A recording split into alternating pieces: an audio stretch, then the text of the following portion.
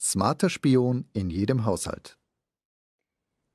Nicht nur das Auto und das Smartphone, sondern auch immer mehr technische Haushaltsgeräte wie Backöfen, Geschirrspüler und Ventilatoren werden mit Mikrofonen ausgestattet und lassen sich per Sprachsteuerung bedienen. Das klingt komfortabel. Es geht bei dieser technischen Erneuerung aber nicht, wie vordergründig beworben, nur um mehr Bequemlichkeit. Das ist gleichsam nur ein Köder.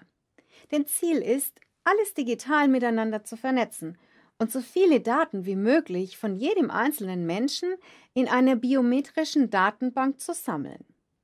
Darin enthalten sind biologische Messwerte oder physische Merkmale, das meint äußere Persönlichkeitsmerkmale und Verhaltensstrukturen, die der Identifizierung von Personen dienen.